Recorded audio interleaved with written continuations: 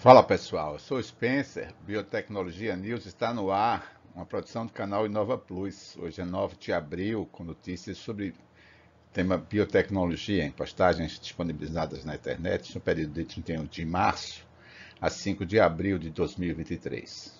Mas antes de iniciar, não deixe de se inscrever em nosso canal aqui no YouTube. Ah, você já está inscrito? Então massa.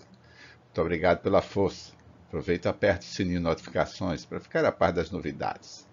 Toda semana são disponibilizados mais de uma dezena de novos vídeos. Não se esqueça, curta-os e compartilhe-os em suas redes sociais. Sua participação é importante para o desenvolvimento do nosso trabalho, crescimento e engajamento do canal. Os destaques de hoje são os seguintes. 31 de março, L'Oréal investe em empreendimentos de biotecnologia para desenvolvimento de ingredientes de origem vegetal disponibilizado no portal Guia da Farmácia. E ainda, 4 de abril de 2023, delegação cubana visita a imprensa mista com a China em biotecnologia, disponibilizado no portal Prensa Latina. Vamos às postagens de hoje.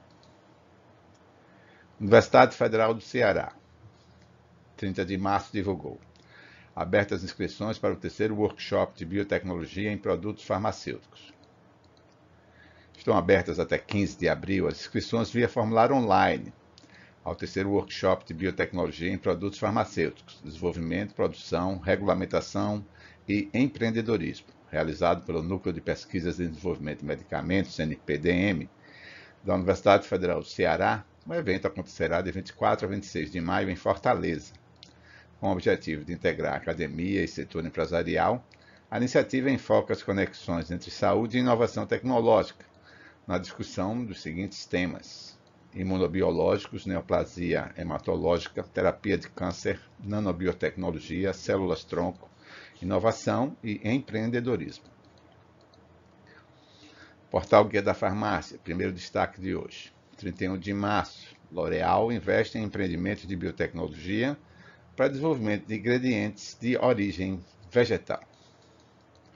O grupo L'Oréal anuncia novo investimento em empreendimento liderado pela Geno, empresa de biotecnologia, para criar alternativas sustentáveis para ingredientes chaves em produtos de beleza.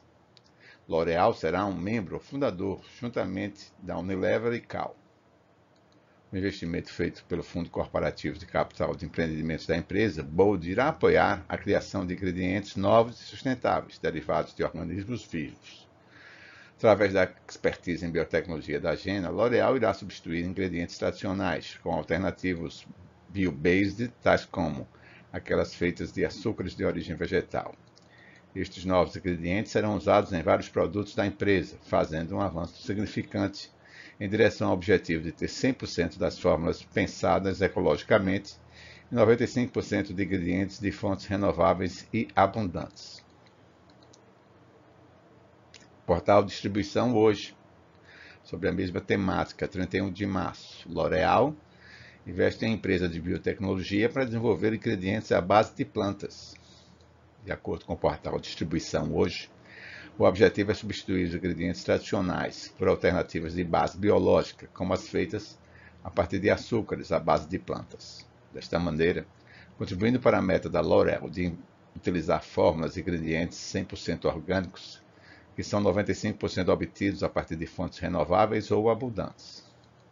Na L'Oréal, acreditamos que a ciência tem o poder de criar um mundo melhor e estamos comprometidos em usar a nossa experiência para impulsionar mudanças positivas na indústria da beleza. É por isso que fizemos das Green Sciences a pedra angular da nossa investigação, fecha aspas, diz a diretora de Investigação, Inovação e Tecnologia da empresa, Bárbara Lavernos. CNN Brasil, 1 de abril. A importância da biotecnologia para o desenvolvimento da Amazônia. O Brasil e o mundo têm buscado formas para avançar no processo produtivo e, ao mesmo tempo, reduzir o impacto ambiental para criar um ambiente adequado para uma economia mais sustentável. Trata-se de um grande desafio em que, para alcançar êxito, é preciso utilizar ferramentas modernas, baseadas em ciência, que podem otimizar, por exemplo, a produção de plásticos biodegradáveis, a redução de metais tóxicos no ambiente e a produção de biocombustíveis e insumos para diferentes segmentos. Rádio Guaíba, 1 de abril, Centro de Referência em Biotecnologia Verde será criado em São Paulo. Com o objetivo de desenvolver tecnologias inovadoras totalmente nacionais para a agricultura sustentável e amigas do meio ambiente, será criado no âmbito do programa IPT Open Experience, um centro de referência em biotecnologia com foco no desenvolvimento de soluções voltadas à agricultura tropical. O projeto com investimentos em torno de 50 milhões de reais, é fruto da parceria entre a empresa catarinense Sempre Agitec, por meio de sua divisão de inovação, a WIN, com o IPT. O lançamento ocorreu em cerimônia com a presença da diretora-presidente do IPT, Niedi Bernucci, o CEO da Sempre Agitec, Fernando Presoto, o diretor de PDI, Hugo Molinari, o CFO, Rogério Marques e a gerente de biotecnologia, Samantha Abad. São Bento em Foco, 3 de abril. Startup de biotecnologia Unlearn.ai levanta 15 milhões de dólares. diretora da OpenAI AI se junta ao conselho. Matéria da Reuters. A Unlearn.ai, dona de uma plataforma de aprendizagem de máquina que cria perfis de gêmeos digitais de pacientes em ensaios clínicos, levantou 15 milhões de dólares para expandir parcerias e acelerar a aprovação regulatória, disse a empresa Reuters na terça-feira. O investimento da Radical Ventures e da Whittington, Whittington Ventures avaliou a startup em 265 milhões de dólares, disse a empresa. Mira Murati, diretora de tecnologia da OpenAI, apoiada pela Microsoft, está se juntando ao conselho da startup. Prensa Latina, segundo destaque, 4 de abril. Delegacia cubana visita empresa mista com a China em biotecnologia. A equipe foi chefiada pelo vice-primeiro-ministro Jorge Luiz Perdomo. Teve a oportunidade de se atualizar sobre o funcionamento das instalações, a capacidade produtiva e o desempenho dos trabalhadores do Centro Perdomo. Definiu a empresa como uma plataforma importante para fortalecer ainda mais a cooperação biotecnológica entre Cuba e China, depois de recordar sua contribuição para enfrentar a pandemia em ambos os países com o fornecimento de interferon recombinante humano e outras preparações como a nasalferon. Destacou ainda a transferência e utilização de tecnologias inovadoras criadas na ilha e com grande impacto no bem-estar e saúde dos dois povos. O EFS, Universidade Estadual de Feira de Santana, em 5 de abril, divulgou. Pós-graduação em Biotecnologia promove aula inaugural dia 14. O programa de pós-graduação Biotecnologia, PPG Biotech, da Universidade Estadual de Feira de Santana, UFES, realiza do dia 14 de abril às 8h30 a aula inaugural do semestre 2023.1. O evento, que tem como tema Inovação e Empreendedorismo no Ambiente Acadêmico, será apresentado pelo professor doutor Antônio Adilton Oliveira Carneiro, da Universidade de São Paulo, USP, e presidente do Supera Parque de Inovação Tecnológica de Ribeirão Preto encontro vai ocorrer no auditório do prédio da Lab BioUFs.